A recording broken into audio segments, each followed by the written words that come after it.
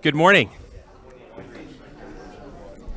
Good morning, everybody, and uh, welcome to, to Torys. My name is Mike Am. I'm a partner here at the firm, and it's great to see all of you here this morning. And this promises to be a really terrific uh, panel that Ken and his colleagues have set up.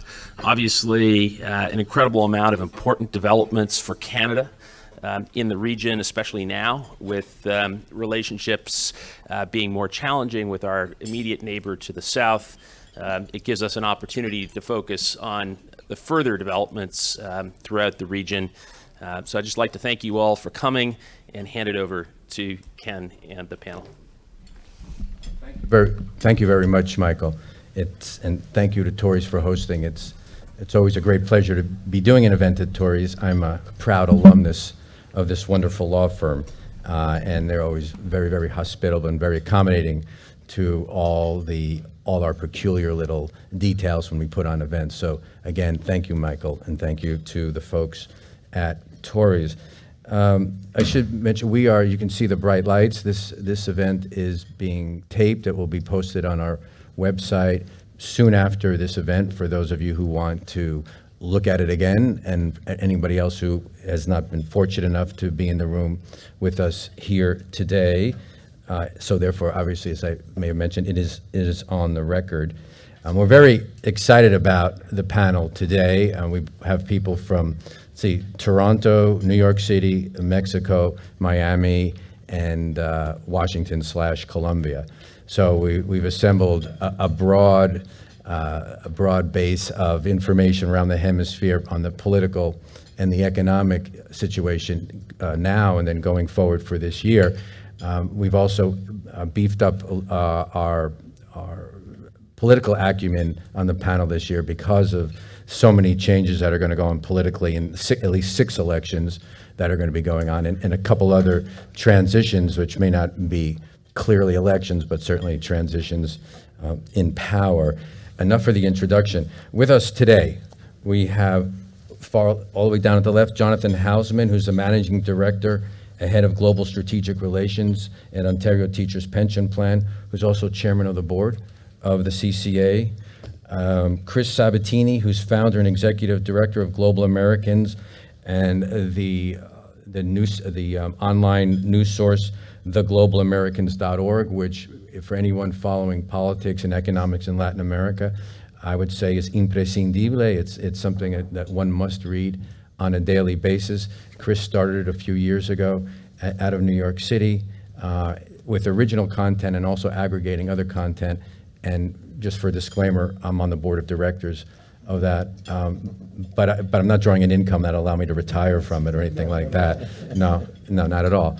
Um, but it's Chris. Um, then we have uh, Eduardo Suarez, who's Vice President of Latin American Economics, who is clearly one of the leading Latin American economists. Um, and we're really happy that he could come up from Mexico and be with us today, a longtime supporter of the CCA.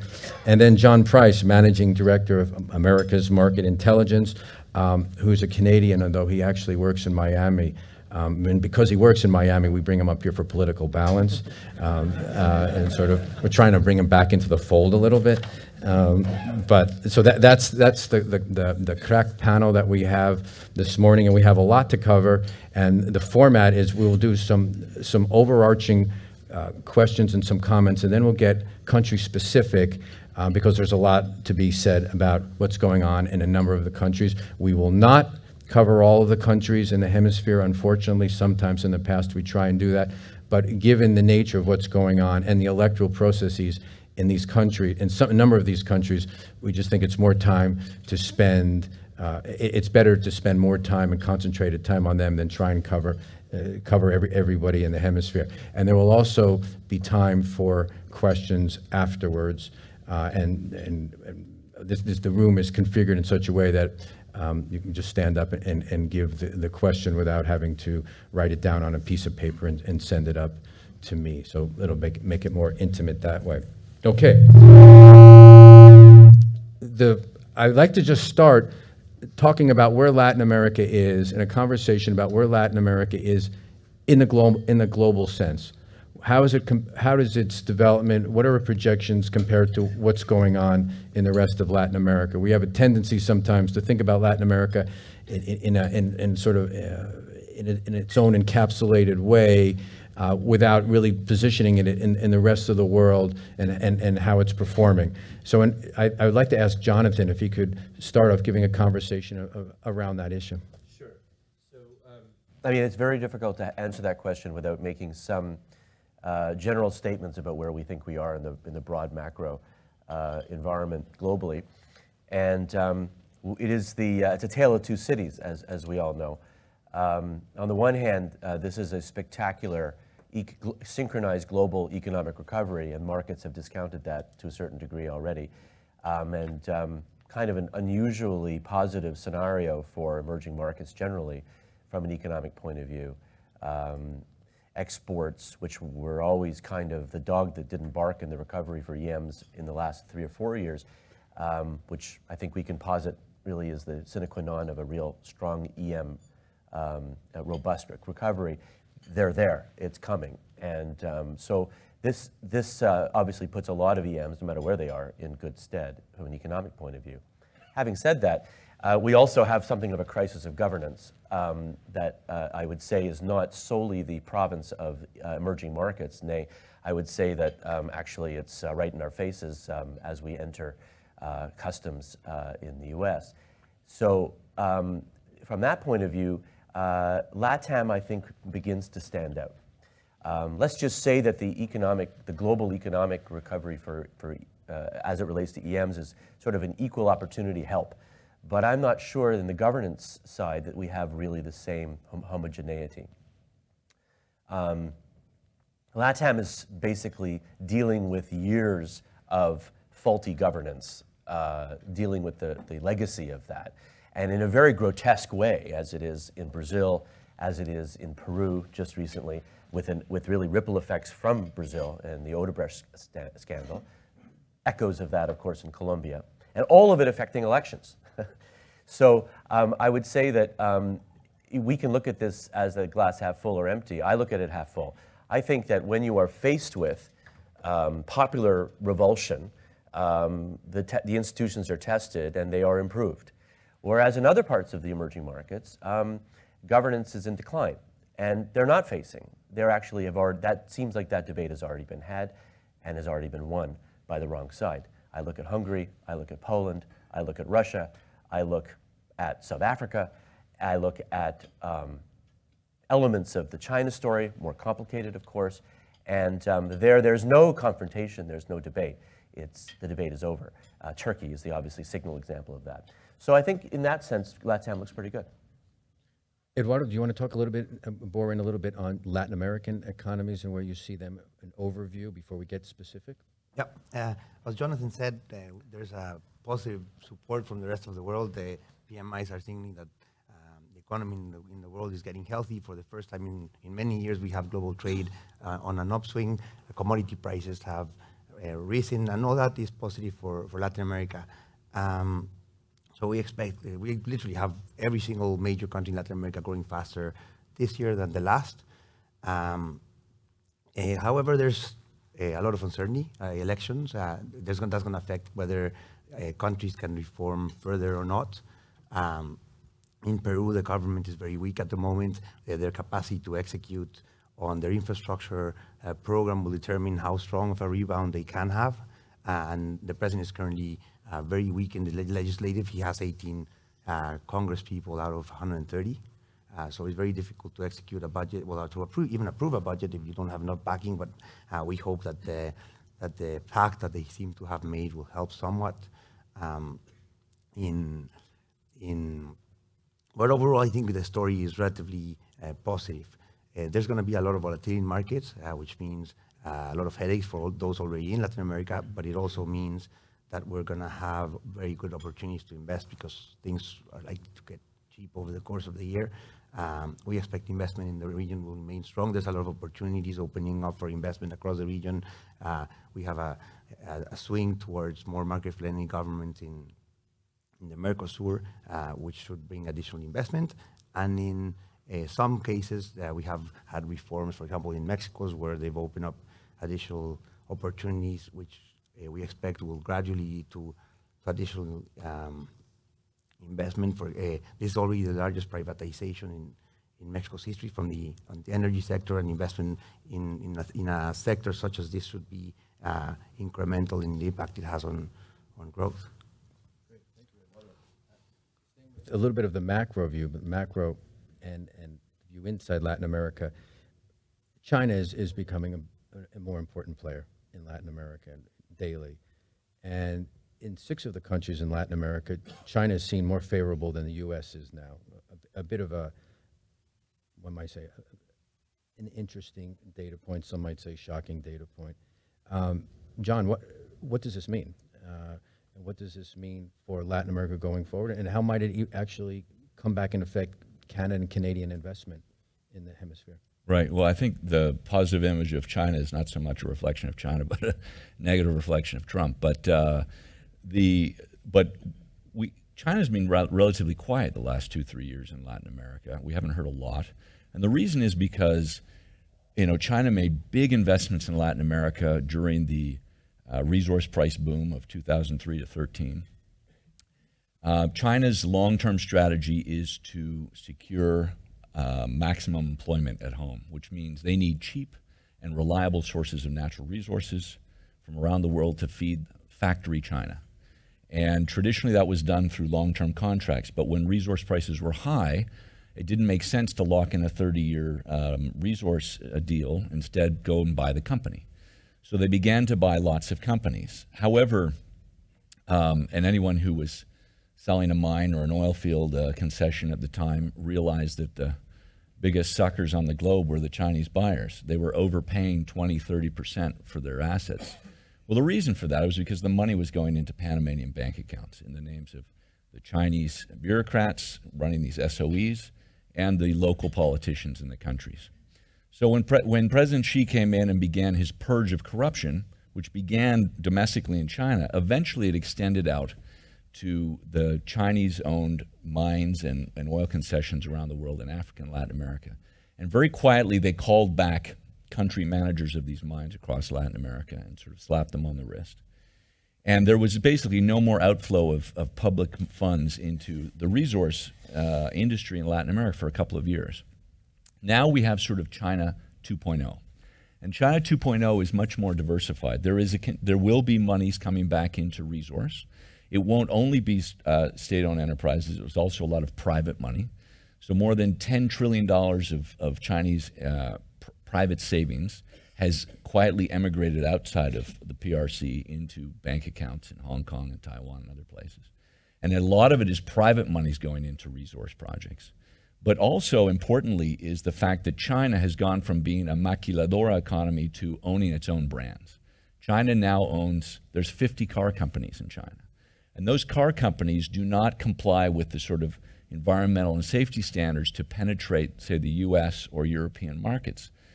So they're targeting middle income markets. So you see Chinese cars in, in Lima, in Quito, in Santiago, they're going after these markets with their brands, with their automotive brands, their IT brands.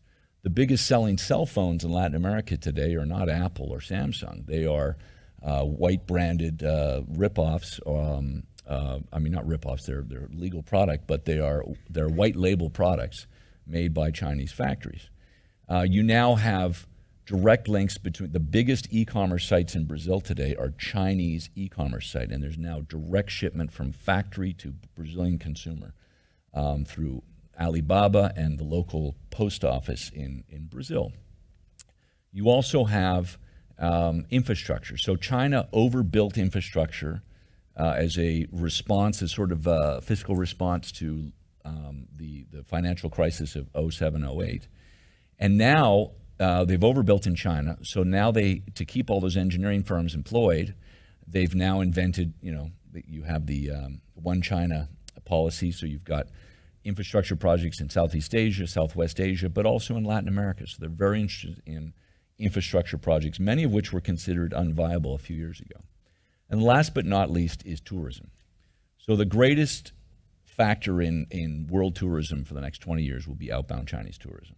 And after the Chinese go, first of all, to local, uh, to Chinese destinations and then near Asia destinations, they then go to Europe and then the US. And then next on the list is the Caribbean. That's typically how global sort of travelers check their, their list. And uh, so now the Chinese are building out infrastructure in the Caribbean to uh, in anticipation of this wave of tourism. So you have very uh, a very much more diversified public and private funding across many different industries, Chinese investment, and they will continue to be big players in bilateral lending um, and uh, and commercial lending, but but you're also going to see a lot more FDI coming in. Thank you, John. I, I want to bring Chris into the conversation now on political ramifications, but before I do, Chris, I just want to do a follow-up question with John. Uh, what does that investment, the, the, how you just described the Chinese scenario, what are the implications for Canadians doing work in Latin America, either exporting or investing in Latin America? After that sort of sweeping survey, it, the question is, well, what's left for, for the Canadians to, to get engaged with? Right. Uh, and, and where would there be competitive advantage and, and where are there competitive advantages that Canadians haven't even thought about yet in, in the hemisphere? Well, certainly in the resource space, Chinese Chinese companies have have preferred to buy Canadian assets, mining assets, energy assets, even though those assets are in Latin America, they're protected by the governance rights of a Canadian company, which they prefer to buying, taking a minority or even majority position in a purely Latin American company. So I think Canada and Toronto in particular has been an interesting intermediary of those resource sales. And um, the, the degree to which Canadian companies can joint venture with Chinese in energy and infrastructure, I think, is very questionable. The Chinese tend to bring their own pool of, of um, subcontractors and partners, and I think it's very frustrating for companies from other countries to get in get in on that business. Um, so I think it's more real. The re, the reality is more selling assets to the Chinese that they've developed in Latin America than say partnering. Thank you. Right, Jonathan, I'm going to ask you to comment on what John said as well. But first, I want to go to Chris. Thank you for being patient and waiting. Um, in Jonathan's opening comment, he when he painted the picture of governance in Latin America compared to Poland and Hungary and Russia, uh, South Africa, et cetera, et cetera, and other countries that we know of, it doesn't seem so bad uh, in comparison on, on the governance issue. Um, but those of us who follow Latin America worry every day about the decline of governance, certainly in a, in a number of, of countries. Uh, and there are uh, some overriding issues right now, particularly one of them is the corruption, which seems to be playing out in a lot. A lot of it related to Odebrecht, but but not all of it. I mean, in, in Costa Rica, where the first election comes up in February, it's about a cement maker. And, and in Colombia, it's a bit about Odebrecht, but it's about other things in uh, campaign finance and, and, and the way highways were financed, yeah. et cetera, et cetera. So maybe you could just give an overview how you think governance in the political processes will play out, have played out over the last year and going forward in the coming year. Yeah, so first, I'm a little less optimistic than Jonathan. I'm, I'm not a pessimist by nature. And in the short term, I'm optimistic, but I do think there are some, some real troubling trends. So first of all, in the elections, we've got six or so elections, Costa Rica, Colombia, not in this order necessarily, Brazil, Mexico, um, Paraguay, um, Venezuela, maybe, that will be up to Nicolas Maduro. Uh, Cuba is somehow listed, but uh, entre comillas, that, that's Spanish for air quotes, I think. Um, that's more of a post Castro coronation than an election. Um, I think this is going to be the year of election and sort of where you see the anti corruption backlash. Um, across the board. I mean, if you look at sort of trust in public institutions according to public surveys, it's at an all-time low. They're slightly, you know, politicians, the judiciary, legislature, slightly more popular than used car salesmen right now in Latin America. Um, so what this, but I think in the short term, this will not necessarily drive, there's a lot of alarmist scenarios where Jair Bolsonaro of, of, of Brazil could get elected or AMLO and, and Mexico could be elected. Um, I, I think this this round of elections will skew will sort of hew more to the center than to the more extremes. But having said that, and this is where I'm a little less optimistic, is I do think this is not going to go away. We've seen advances. It's one thing to be able to investigate and even prosecute cases of corruption. Actually addressing the structural causes of corruption depends on political will, um, and sort of putting the, the, the very people who are part and parcel of that, who've been beneficiaries of that, in charge of constraining themselves. I'm not sure we're going to get there. I've never seen, in terms of I'm a political scientist, I've never seen historically any moment where countries have been able to completely turn that corner and institutionally reform themselves. Even take, say, the case of Italy, which was taken as a, as, as a, as a successful case, um, still obviously continue to elect populists, still is dogged by problems of corruption. I, I just don't see how Latin America will address it. So this round of elections, definitely an anti-corruption wave um, sentiment. I'm not sure the next round of elections that we'll be able to see any sort of results out of that. That's the first thing. The second thing is, we, on the more optimistic note, is this is the year of return of economic growth, as Jonathan was saying. And Latin America is going to grow on average by 2% next year. Um, now, that, av- that actually masks sort of much higher numbers, because in that is Venezuela, which obviously, there's one huge standard deviation from the mean, and that's Venezuela, which will contract by as much as 4% next year. But you've got, you've got Mexico 2%, you've got Brazil 2%, you've got uh, Argentina 3%. There's, it's, it's looking very positive. They're digging their way out of the, the valley that they were in before, and that's very, very positive. Having said that, again, not to be a pessimist, there are a few um, looming challenges. One is obviously pension reform in places like Brazil, um, places like Peru. We're looking at a real fiscal overhang um, in places like Chile, even on pension reform, which they will have to address. Maybe not this year, but in the future. And then the last factor is the unknown, and that's that's Trump. Uh, let's be honest. Um, you know, the just what two days ago, a couple Canadian uh, officials leaked to the press that they think that Trump's going to pull out of NAFTA. Um, the effects of that are difficult to gauge. I, I, you know, it, it, there's obviously the trade disruption, potential trade war, but also in terms of what it would do in terms of confidence for investors, uh, in terms of just overall emerging markets. Uh, would be huge. And at the same factor, you, you, I'm glad you're doing something at the Summit of the Americas. I'll be there. But we're not sure Trump's going to be there. The rumor is Trump's not going to the Summit of the Americas. And is that, I mean, it's amazing. This was started in 1994 by then President Clinton. Um, it's a U.S. initiative. And, um, you know, it's, it's part and parcel of a larger Trump, uh, for lack of a better term, strategy, though I'm not sure it is. Um, let's say idiosyncrasy. Um, that you know he pulls out of multilateral agreements. He doesn't have much patience for summits. He doesn't have much patience for other leaders. He certainly doesn't care much about Latin America. You know, if the U.S. pulls out of the Summit of the Americas or doesn't attend in this case, I think you know will it go on? Probably still, but you know what that means in terms of U.S. leadership, in terms of leading investment, trade, um, even in terms of issues of just the, the general normative infrastructure, if you will, of uh, the region is going to be very much at risk. So, you know, everything could go well in the elections, the economy's growing well, and then there's the Trump factor. Okay. Sorry.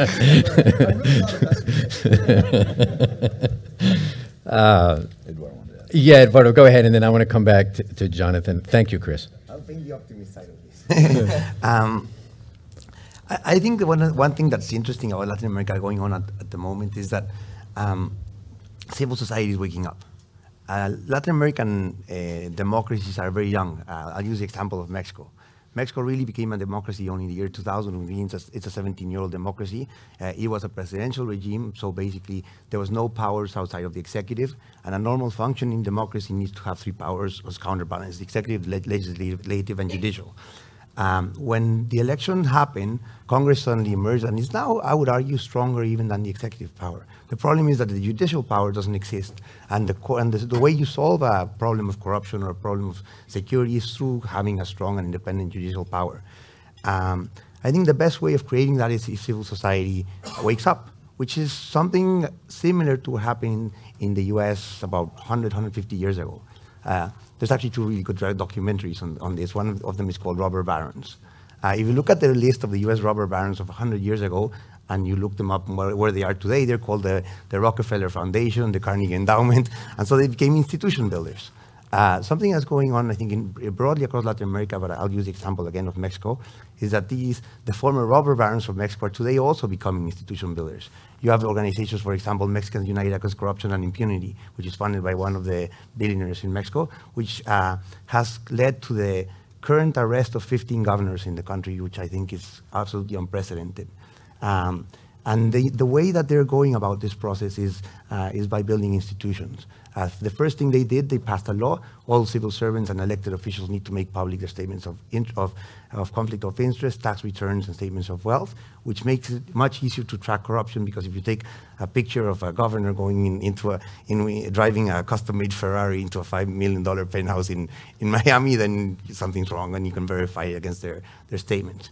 Um, the second thing you need to create more transparent trials. So we're moving towards the verbal and open trials means that when you do put these officials in, in, in a court, uh, all the global media will be there. They will film the, the, the, court case and it will be much more easier to have um, uh, transparent justice. Uh, however, as Chris said, it's all not rosy because the, the final problem that, that there is is that the, the region is still developing the capacity to investigate crime. It's still de developing the capacity to prosecute professionally. So the risk is that many of these governors will actually walk free because they'll invent something uh, they didn't read them the rights at the moment of the of the arrest, and so they'll be free sipping margaritas in six months.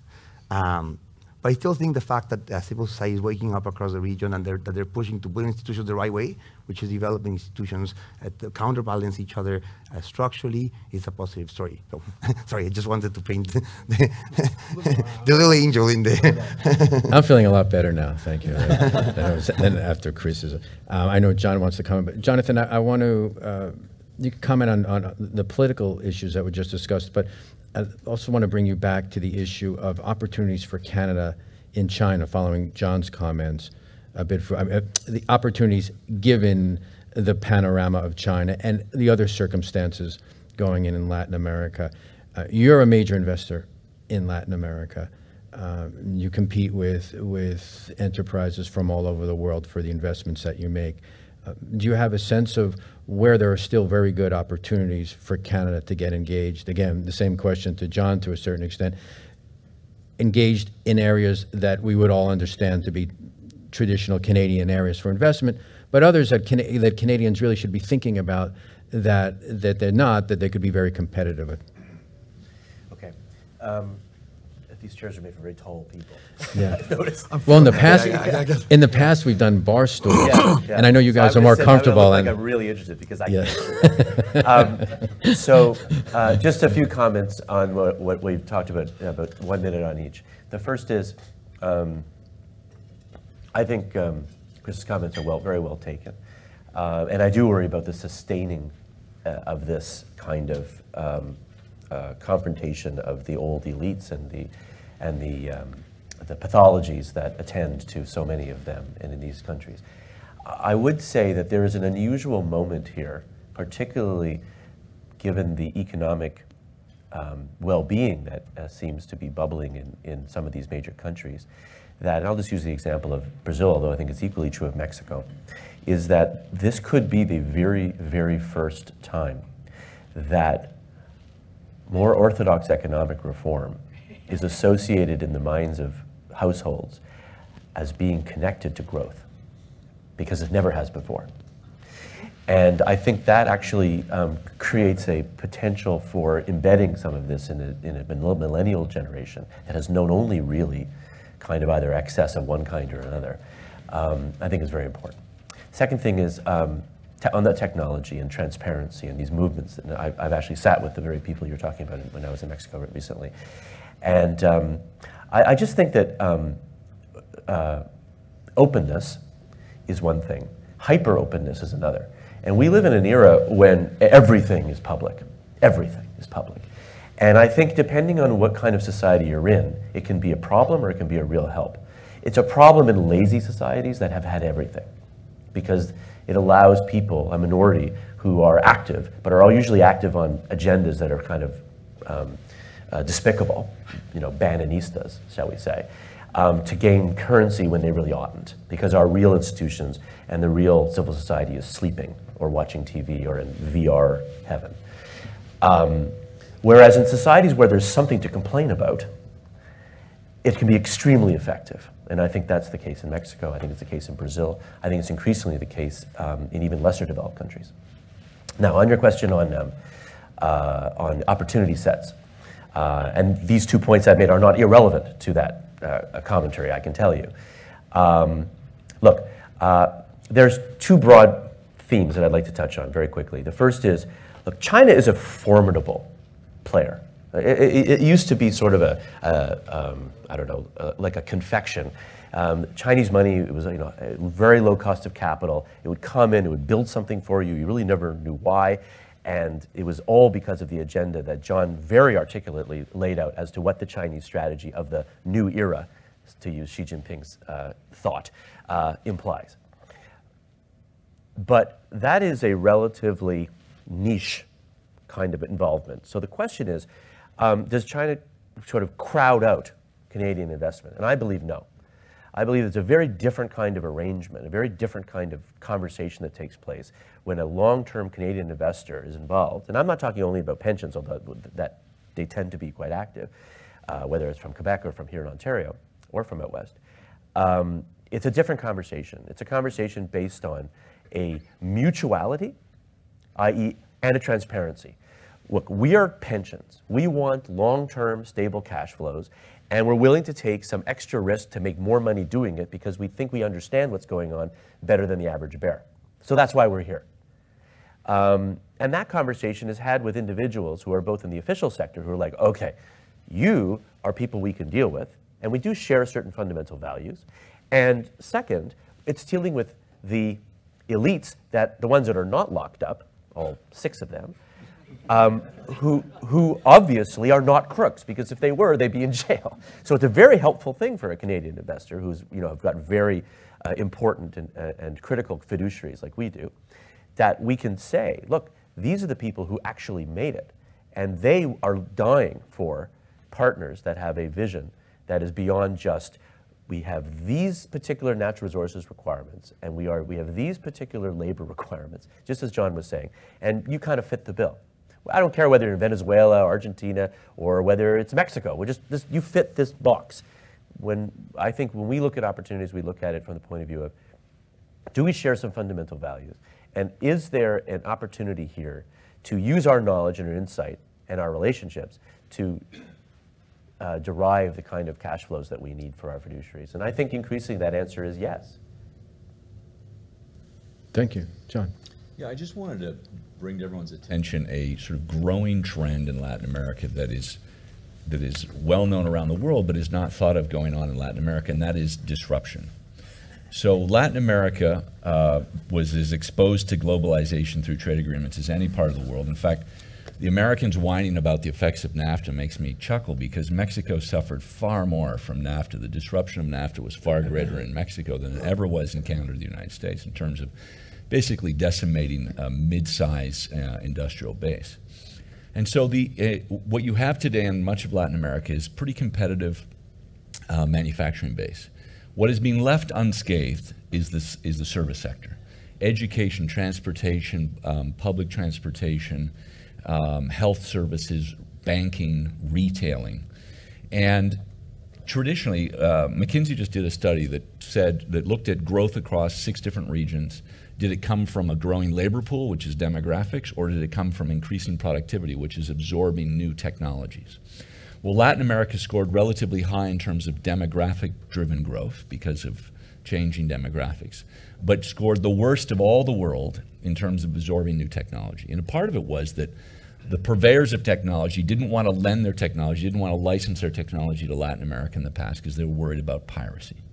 Well, now with cloud based technology and open source, you have a flood um, of technology. The Airbnb, Netflix, and Uber, the fastest growing market in the world for all three companies is Latin America. Mexico City is by far Uber's most profitable market in the world because not only because they've displaced so many traditional taxis, but they're able to charge twice as much as a conventional taxi because of the transparency and security that comes with getting in an Uber versus a traditional cab in Mexico. Um, Latin Americans are now absorbing this technology, and, and you will see uh, this will be both a positive economic boost, but will be a huge political challenge in Latin America as, as millions are put out of work. I was in a liquor store in in um, in uh, Miraflores in Lima a month and a half ago. The liquor store was a quarter the size of this room, and there was seven employees. Um, you know, with three customers. And, uh, you know, Yeah, but you, you've been in a lot of liquor stores. I've been in a lot of liquor stores. I, So, you know, I have a representative sample of liquor That's stores, but uh, but I mean that's the sort of that's the sort of over overemployment that goes on in so many service sectors in Latin America that I believe will be radically disrupted. Now, is this good or bad? That's a macro philosophical question, but the the any change and any rapid change is an opportunity, and this is where you know. Canadian technology companies, particularly those operating in a B2B environment, because we don't have as many retail technology companies, but we have a lot of interesting B2B technology companies. There are amazing opportunities in Latin America in particular niches that either improve productivity, uh, replace human um, uh, humans with, with technology, uh, that is going to be taken in by Latin American governments. The days of, of rising top line revenue in Latin America, I think, are coming to a close. And the way that companies will grow in Latin America for the next 10 years will be about cutting costs, much more than about raising revenue. And so they are looking actively to source technology to help them do that. And that's, that's an interesting opportunity. I'm going to break with tradition. Uh, We're going to, I want to move into country, uh, certain country-specific discussions, but this has been such a interesting conversation, at least listening to it, um, that I'll open it up for questions now on the sort of the broad topics that we've been discussing before we get into the country-by-country discussion. So if there are any questions, we, we can take uh, time for a few, please. Yeah. Uh, We want to use the microphone? Fantastic, okay. Right there, sir. Hi. Um, talking about China, the no one's mentioned this. Uh, it's a, a bridge and road initiative. What uh, impact is that having on Latin America? Because there are the four countries which have the uh, uh, you know the Pacific Pacific Alliance Agreement. Not to mention building stuff. Uh, in Latin America, which you're trying to discuss, but also the impact of moving goods faster and easier around the world uh, with various trade agreements. We'll take a couple, uh, and then we'll, Uh, Thank you. Um, Two quick questions. First, I wanted to know if any of you can comment on the proposed uh, panel in Nicaragua that's supposed to rival the Panamanian uh, can- uh, Canal. It's been in talks uh, amongst my circles, speaking with people. They don't know what the status is, but it is a very strategic canal that has a lot of ramifications in the region. So if any of you can comment on that. And secondly, um, the elephant in the room, I guess, I would like to ask the question for is the, we just mentioned the emergence of technologies, specifically in Latin America, blockchain technology, cryptocurrencies. Uh, it is profoundly impacting uh, institutions domestically, nationally, internationally. Um, and what we're seeing right now in the coming days, the government of Nicolas Maduro in Venezuela is going to be releasing a cryptocurrency called the Petro, where each coin is going to be backed by a barrel of oil. Uh, this is, and it's speculated that it's going to be released in six weeks. This might have good or bad implications, but it will have ramifications in the region. So I wanted to know from either of you if you can comment on what you believe the implications of this petro currency will have in the region, and if you see any other countries following suit. thank you. I I thought that the, all the Venezuelan oil has already been pre-sold to China, but we'll find out. Uh, One more. You remember all these? Okay, let's, let's take these. Uh, China, the uh, Canal in Nicaragua, and blockchain technology. China. Go ahead, Jonathan. Yeah, So, the Belt and Road. Um, uh, look, if, the, the, the, the somewhat amusing thing about the Belt and Road, um, what used to be called the One Belt, One Road, um, I think they felt it was a bit too exclusionary. So this is like it's a belt and a road. So, um, and I think there's a reason for that because if you looked at the maps as they have evolved since the uh, original discussions and the original design, it started as essentially a re- replication of the um, Silk Road routes, um, which are quite, you know, historically uh, embedded in, you know, Samarkand and all sorts of really neat places that nobody knows where it is. And it's now essentially the entire world. There's the sea Belt and Road, and then there's the land Belt and Road. And yeah, Latin America miraculously sort of showed up about two years ago as part of the Belt and Road. Now, I think they have roads, and I know that Latin Americans wear belts, so it's clearly familiar to them. Um, so um, I think that you know, in a way, it's become so diluted that it's basically the Chinese system that they're trying to, to, to, to explain. And the system is an interconnection of countries that have a deal with China. that have bought in, if you will, in one way or another, to this kind of neo-mercantilist system that creates the results that they want. It is an, it is an alternative um, ecosystem to the existing uh, sort of North Atlantic created, American dominated hegemonic process, which, as we all, all know, uh, they have precisely correctly diagnosed as being in retreat. So Latin America is just sort of part of that story. I think they, they, they realize at some point, so, well, what, why does it have to just be in Eurasia? It should be everywhere. And I think that's the relevance of it, frankly. It's really, if we understand how the Chinese are operating globally, we'll understand what the impact will be on Latin America. Thank you. The, the other part of that is that uh, this year in Asia, $2 trillion will be spent on infrastructure.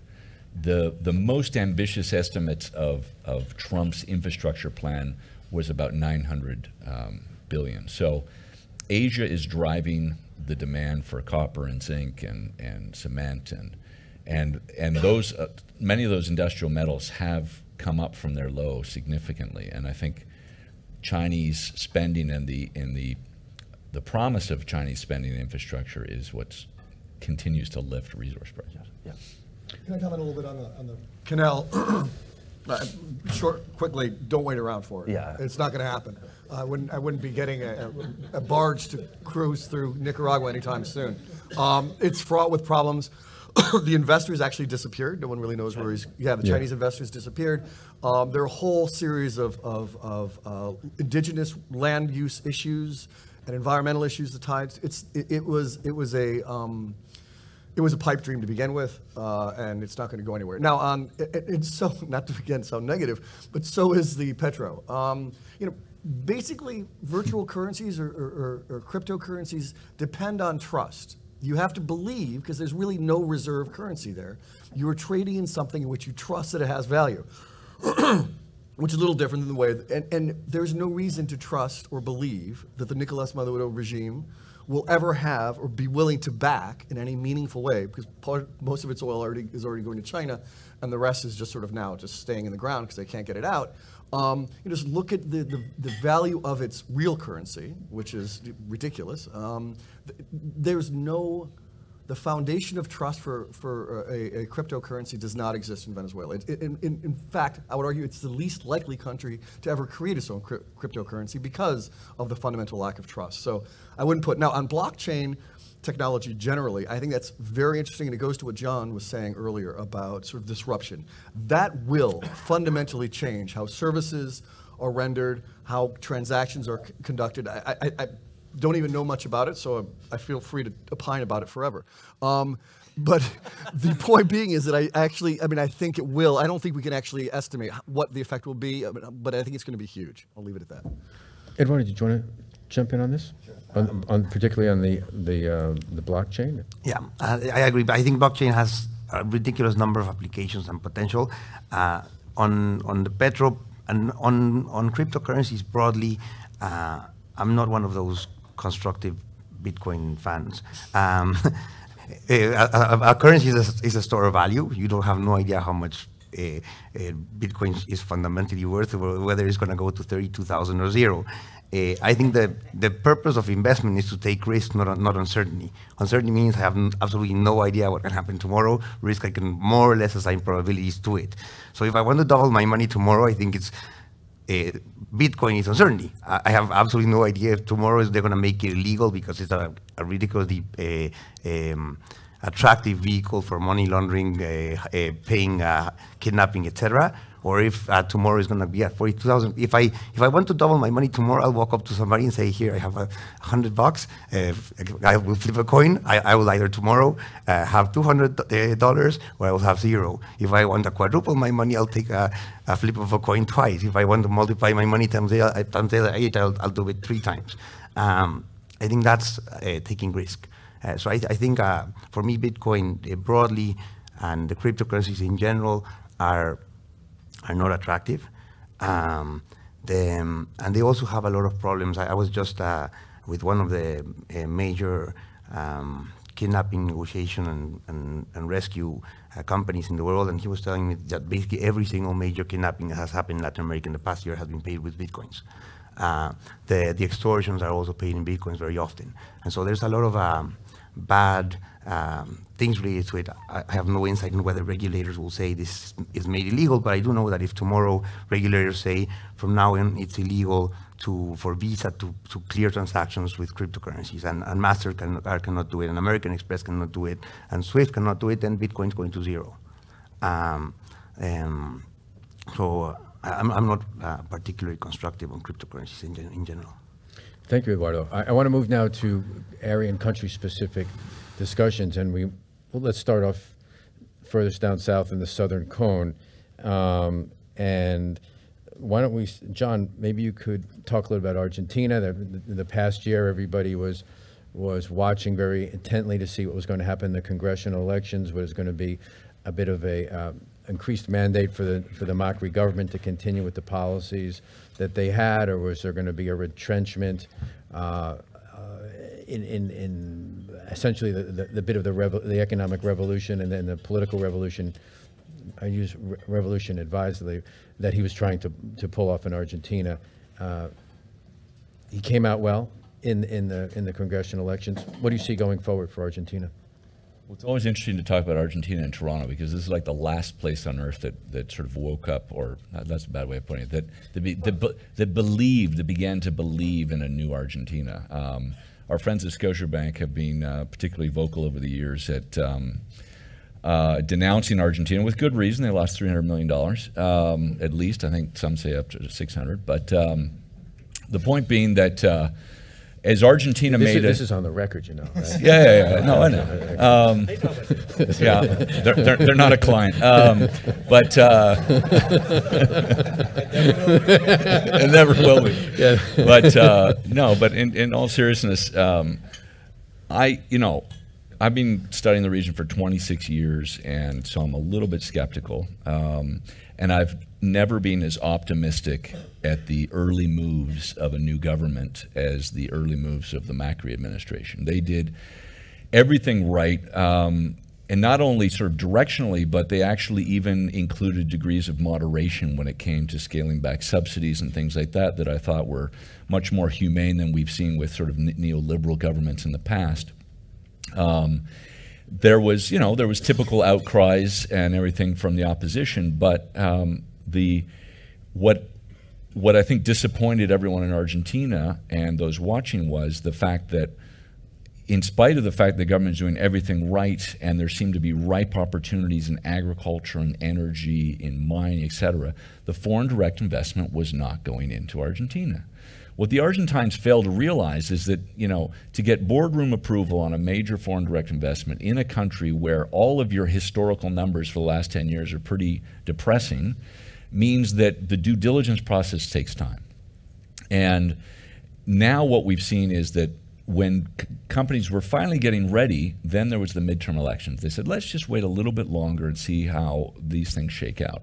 Well, things shook out as positively as, as one could, could hope for. Cambiemos gained in the Senate, gained in uh, the House of Reps. Um, they didn't take a majority position, but basically they became the strongest political bloc. The Peronists, which are sort of like the LDP in Japan, they're broken into different blocks. And the Kirchner bloc lost a lot of prestige and a lot of numbers.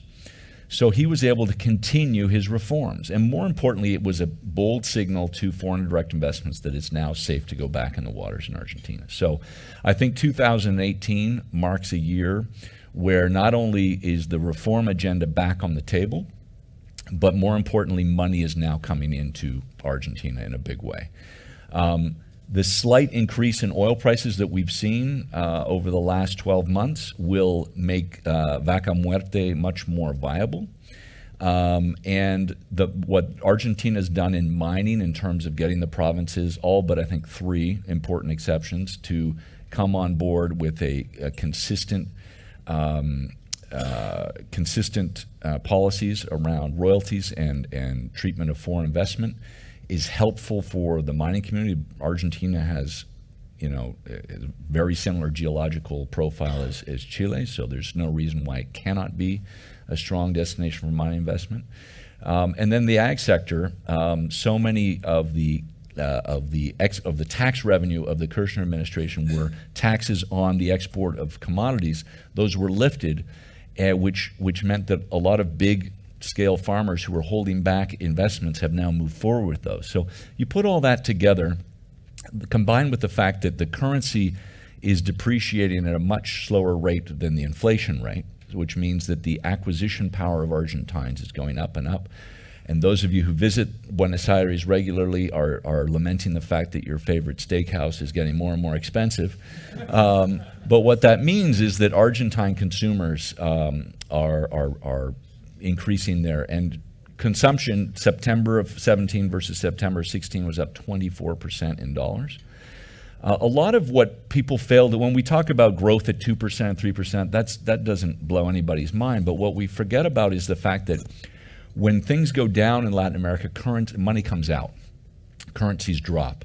And so it's always helpful to look at the GDP in Latin America based in dollars, because at the end of the day, most of you are going to report your businesses in Canadian or US dollars.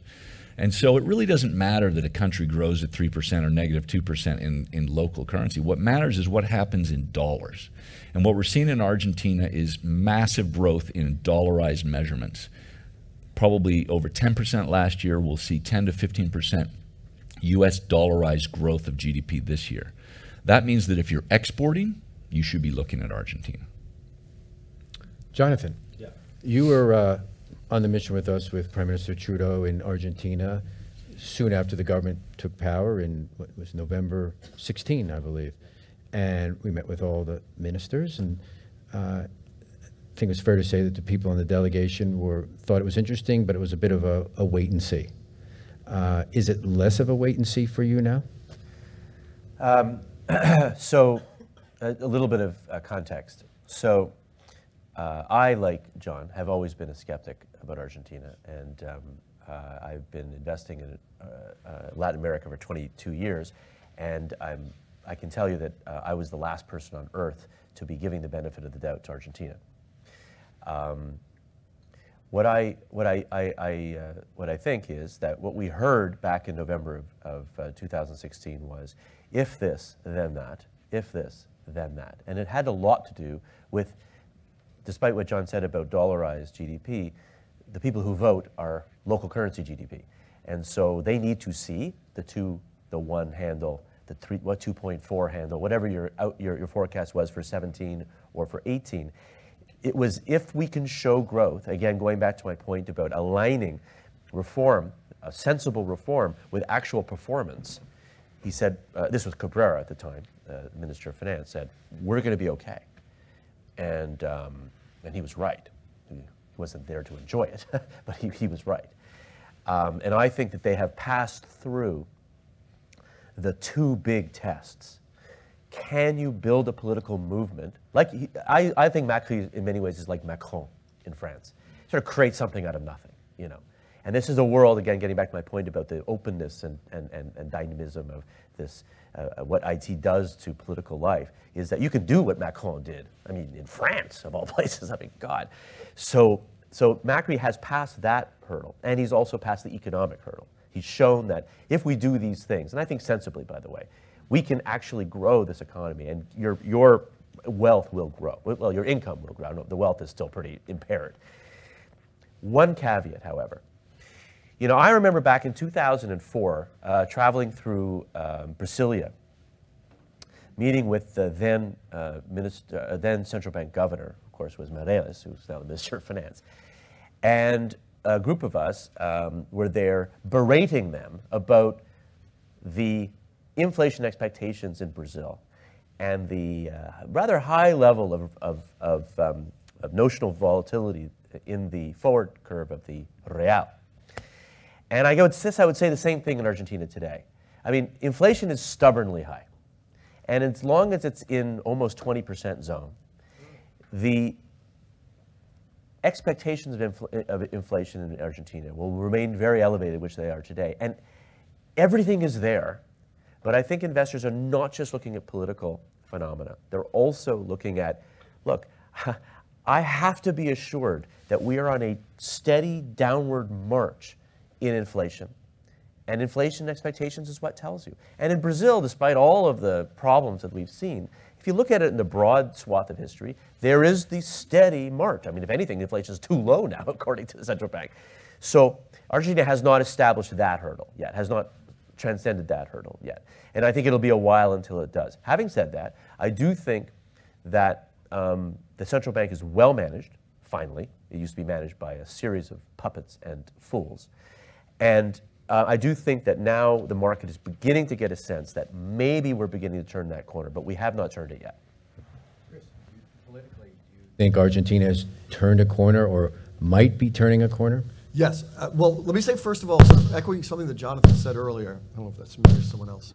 The, um, you know, despite all the potential headwinds in the region, there, you know, we've got governments in Brazil, Argentina, Chile, Peru, quite likely in Colombia that are very well equipped and very both in terms of their technical capacity, their orientation to deal with this. I, I actually think you know in, in, terms of moments of investment and economic growth, we're looking at one of the most positive conflations of, of economic and political situations that very positive. So that's very good. In Argentina, what's interesting about Macri is that in the past non-Peronist governments, They simply didn't know how to manage power. Was Alfonsín or De la Rua, they were just hapless. Uh, um, actually, um, as a technocrat, actually kind of acts kind of like a Peronist. He knows how to twist arms and work the system, and that's that's why we saw the legislative victories last year. Um, it's why we see his ability to reform pensions and other things. He's very, very savvy, in addition to having a very capable technocratic team behind him.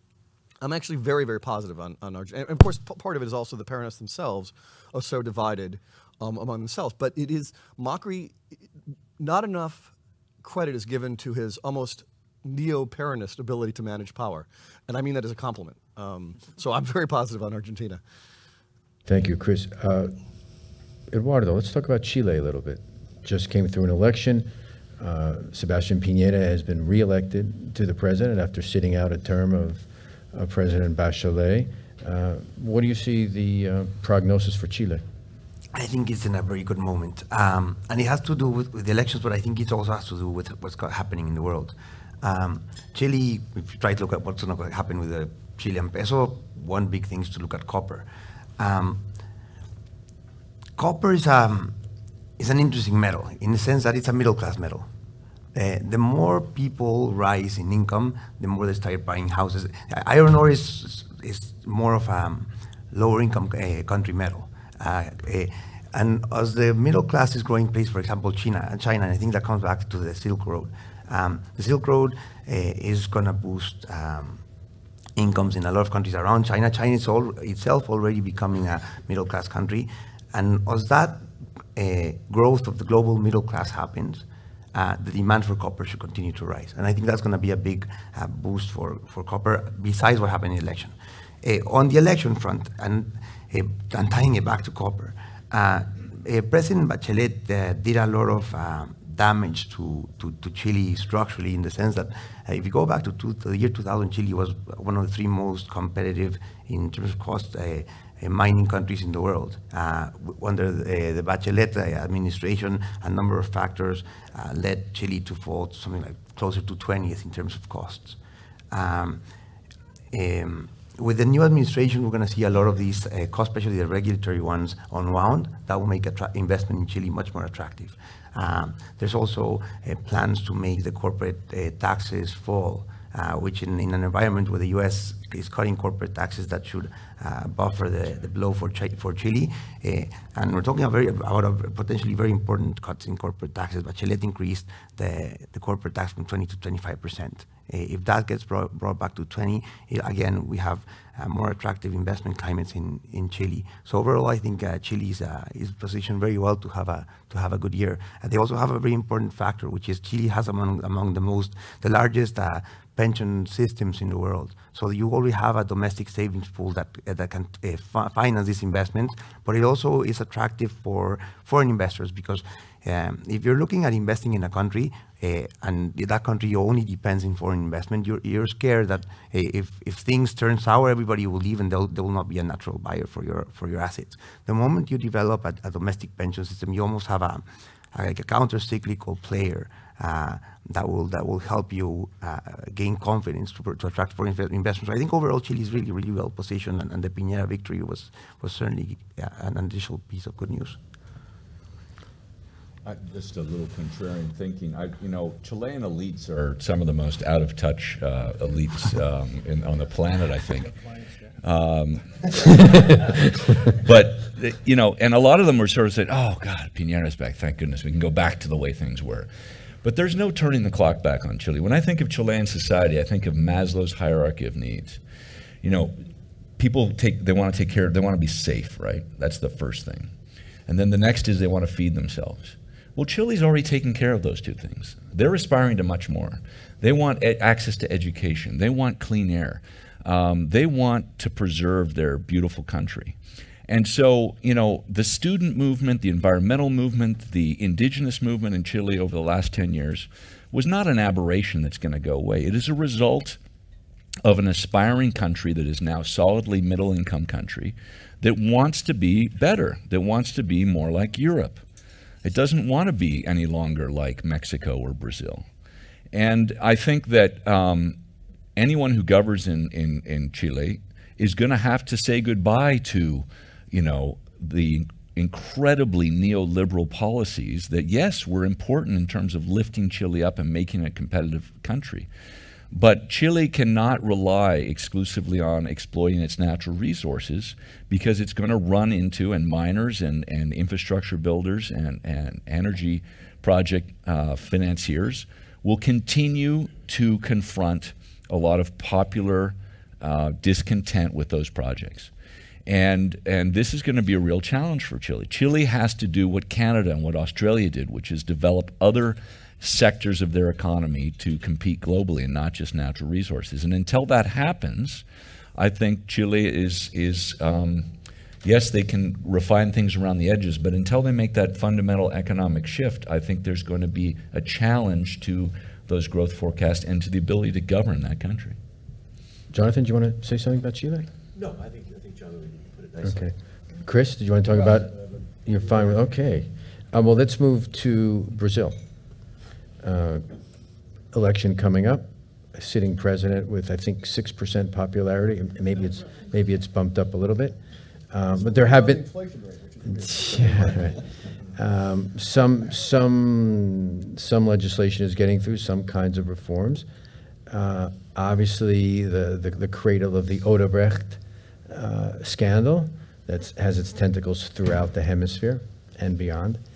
Uh, you've always been uh, positive about Brazil. I mean, in the last last year we had this conversation, Jonathan. You said, you know, don't count out Brazil, bet on Brazil they'll get out of it and move forward. The question was what the timing would be.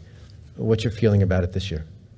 Yeah, well, I, I, you know, as a, an investor in public or private assets, that was actually pretty good advice, I think, um, because actually, you know, um, public markets are priced to perfection in Brazil.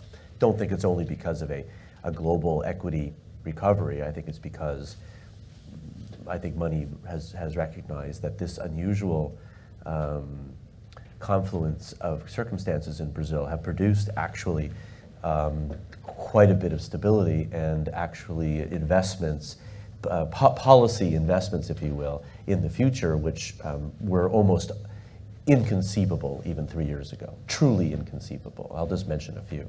But let me just take a step back.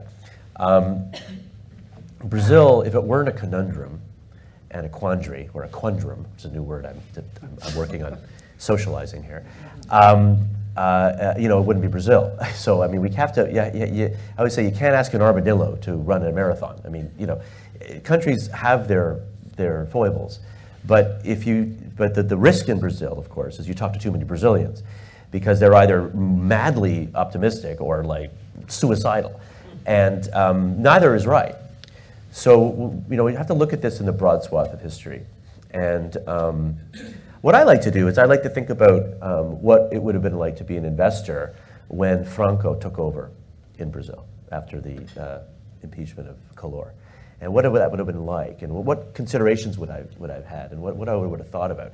And I would have been, you know, petrified, actually, fundamentally petrified, that there was so little holding up Brazil. The institutions were so weak, the economy so tentative, the global environment pretty crap, actually. And um, now I think about today, and there, you know, there are echoes, of course, of Itamar uh, with uh, the current um, situation with Temer, although obviously uh, Franco was, did not have the same stain, if you will, as, as Temer. Uh, but now I think about that in those same dimensions, and I say to myself, well, the global economy is look for Brazil today is looking very positive, with all those potentially positive synergies that I referred to earlier, politically and economically.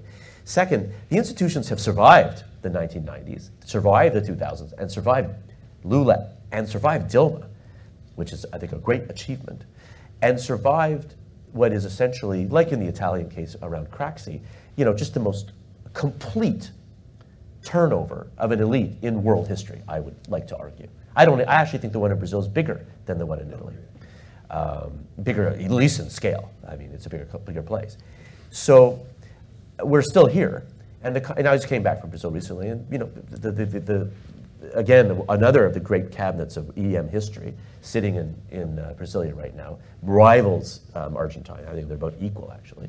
Um, beavering away, doing a whole bunch of stuff, which has never, I don't think, ever entered the minds of anyone. I'll mention two things in particular.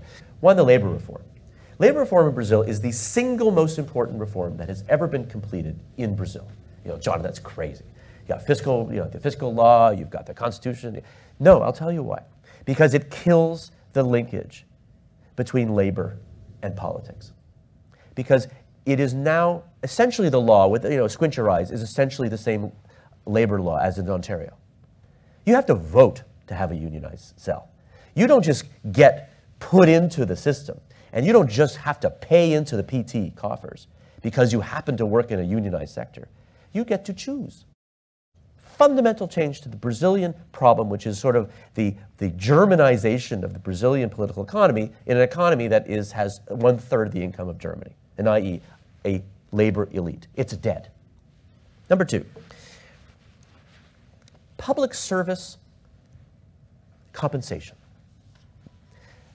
The public service in Brazil, the other great bastion of the old system that has kept Brazil from really achieving its future, is now going to undergo the most massive uh, change uh, in how it's incentivized and how um, they hire. Because now they have to align public and private wages. What's the fundamental problem, John, in Brazil is that the public sector is coddled. The public sector gets everything, the private sector gets nothing if you're a laborer. Now they get the same, at least in law. So these things actually erode the political economy that brought us the corruption, that brought us the pathologies of politics in, in, in Brazil, and brought us Lula and brought us Dilma. And they are systematically being destroyed. The final one I want to mention is BNDES, which um, you know, is another pathology that it's almost mind-boggling what was going on during the Dilma uh, period. And now they can't afford to have a fiscal, a quasi-fiscal deficit as they did with everybody and their brother, all of them connected to, the, to corruption, getting these loans at, at, at like you know, Chinese development bank levels in a country where the, where the prevailing uh, nominal rate is like 11%, you know. That destroys an entire set of rentier uh, class and, and rent-seeking behavior. So those are the things that matter. And I don't think they're going to get reversed by any president. Now, the one thing that sticks in my mind and the thing that keeps me up at night about Brazil because it is a very complex and, a, and, a, and still a tentative place, despite what I said about Itamar Franco, is that there is a depth of anger and a depth of dislocation in that country, which is truly awesome to behold. And one does wonder whether the anger and the fury will not express itself in this election, despite we said, and I happen to agree with you, but it's only on the margin, yeah. that it won't express itself in a way that unleashes upon the country a really inefficient kind of leadership, a really populistic kind of leadership, whether it comes from the right in Bolsonaro or whether it comes from the left from Lula, who has not been counted out until January 24th. 24th. Just look at my watch. Yeah, so you got two weeks yeah. um, in um, Porto Alegre, I, I believe. Yeah. Uh, that is the one thing that really does concern me. But I think if, if you're looking at it broadly, and even Bolsonaro, I don't think would be so terrible, to be honest although he's a terrible person, so it seems. Um, that this is a moment in Brazilian history that I think is probably as important as the end of the military dictatorship. So, despite the low percentage uh, approval of the current uh, president, essentially this, this, this government is making Brazil great again. Is that what? Well, it's putting in the footings. It's putting in the footings. And look, there's a, there's a, con, there's a contract here with Temer. And the contract is, look, you're there. You, you will be incentivized by wanting to be Franco, and we'll be incentivized by getting a bunch of stuff done. And we know that we have to do these reforms because anybody who comes in will be in penury if they don't. And it's everybody wants the stuff done now, so nobody has to wear it later. Mm-hmm. Whether you're PSDB or PMDB or PS or, you know, the one of the, the, the alphabet soup of parties in Brazil, but those are the main ones that matter. You just want this done. And I think that this is a moment where it will be done in, to the extent that it needs to. The fiscal law kind of forces it. And, and then we'll get back to the circus. But it maybe won't be three rings, maybe one ring after this election. Uh, Chris, uh, Jonathan's appraisal is fairly upbeat and hopeful, so I'm a little bit, I have trepidation about turning the mic over to you. Uh, no, uh, no, I'm not going to disagree with him. I think, you know, actually, you know, Temer's lack of popularity um, his, um, the fact that he's a lame duck president is actually working to the advantage. He can take measures that most politicians wouldn't dare to take. I mean, you can't get much lower than 6%. Um, you know, so what, what, what's there to lose? Yeah, it's still within the margin of error, right? I mean, um, the, um, so I, am actually very upbeat, and I, and I, while I do think there is a risk in how this populist backlash may manifest itself, we'll see what happens with Lula, we'll see what happens with Bolsonaro. Um, I think there are some credible candidates in the middle, uh, Alckmin and the mayor of Sao Paulo, who could who could do a good job and are viable candidates. Um, so I'm actually quite upbeat about Brazil. I mean, I think the pension reform is is is going to be difficult. Um, I would like to see it get done now, but I don't. I agree with you. I don't think it's, it's there's no appetite to do it. So no, I'm actually quite. I mean, again, if I were you know, I'm looking at the region, I'm seeing a few obstacles, but I'm looking at a set of governments. Um, and despite a very nasty public mood about corruption across the region, I'm seeing a pretty stable technocratic political class that will either be coming to power or is in power that can help sort of you know guide the, the, the ship of state in these countries. So I'm very upbeat about Brazil, despite the fact it's led by a man who looks like a vampire. All right. Uh, Edith, you want to comment on Brazil? Yeah. Um, I'm, I think there's a, a lot of short-term positives uh, happening. Uh, if nothing else, well, uh, on top of what has already been said, uh, the Brazil's economy is sitting at such low levels uh, today that anything they do will be better. Uh, for an example is industrial production is currently sitting at 2004 levels in terms of volumes.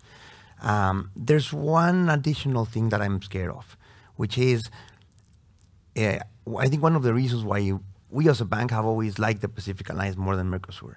Um, it's the, it, it's basically not having wasted your your crisis. Um, John spoke earlier about disruptions. Um, in the crisis that happened in, in the Pacific Alliance countries, uh, we had uh, the local oligarchs in many sectors kicked out and replaced by by foreign multinationals. And, and we have economies that are much more open for business, much more open to trade, and that has a lot of positives. First, competition makes you stronger, and having your companies and your employees competing with the rest of the world uh, makes them become much more productive. A problem in Brazil in the past is that because it was such a closed economy, uh, we suffer in, in the 2004-2014 level uh, period, their their wage cost more than double, and I think that was a result of uh, just a complete detachment from global global competition.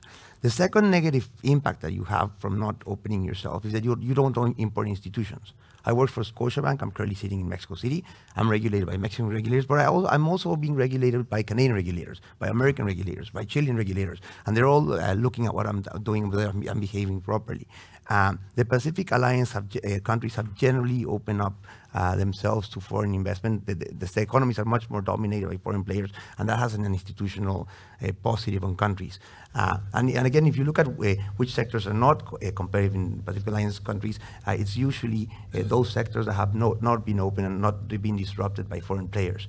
I think the the case of the Mercosur countries, they, to, which we're seeing uh, improve today, such as Argentina, such as Brazil, uh, I think they both they both need to do that. They need to open themselves to the rest of the world. They need to blow up Mercosur and join much more open trade blocs, such as the Pacific Alliance. And they, they need to open their sectors to foreign investment. Think about the banking sector in Brazil, for example. It's extremely close to the rest of the, the rest of the world, and they have very good uh, banks that compete very strongly. Uh, but uh, even even there, I think they, uh, having foreign players coming and, and disrupt them more more actively would would be positive. Thank you. Did you want to say anything If I could just summarize Brazil quickly, I would say um, for financial investors who either invest in equities or even through, say, private equity into well-managed Brazilian companies, um, taking a sort of minority position, Brazil has always been one of the best places to invest in Latin America if you if you time time it well. Um, as an exporter, selling a product into Brazil, also, if you're able to time it well and find good distributors, and you're willing to shut down or, or, or trim down your operation when the currency uh, tanks, again, you can make you can do very well. As somebody, as a company that wants to uh, do foreign direct investment in Brazil, set up a company, operate a company, and compete in Brazil, it has always been incredibly challenging. Unless you do it on a massive scale, it's hard to be profitable. And I think that you have to therefore dissect your strategy and you know you can't make a blanket statement about Brazil. You have to it really depends upon the, the way you're engaging in that country. Great, Thank you. Uh, Let's move on to the, to the Andean region. Uh, As I mentioned, we will be doing a special event on Peru and this coming Wednesday, so we won't spend as much time on it today, but why don't, um, we'll try and touch on it, but let- let's, let's move to Colombia. Uh, First round of elections, that's good, right, Chris? Yeah. So, uh, first round of elections uh, coming up in May, as, as a few months ago, I think there were over 50 potential, you know, candidates uh, from parties and shifting parties and, and people who are gathering enough signatures to get their name on the ballot, which is what you can do in Colombia. And now, and now the field is winnowing down a little bit. And now it's becoming a little bit more interesting and speculation on, on what, what the final coalitions might look like. Maybe you could start us off, Chris, talking a little bit about where you see the future of Colombia this year. Um, you know, there's you and I disagreed slightly on this over email last night, but I, I think part of it is it will be a referendum on the peace plan. Um, I think who Uribe throws his weight behind will probably he'll be the kingmaker, but I think it's it's going to winnow down. I mean, you've got Fajardo, who I think is uh, the former um, uh, governor of Antioquia. Um, is, a, is an interesting candidate, but I don't think he has. I don't think he's going to go very far. I think he's really pretty much hit his, his ceiling. I think what you'll see is a, you know, the, the the party system of Colombia, the traditional liberal and conservatives have collapsed, but yet they still sort of reign supreme, just not in the same institutional form that they used to. So, in the end, I mean, Petro will. I think he's pretty much topped out. Um, he'll be a, you know, also ran probably.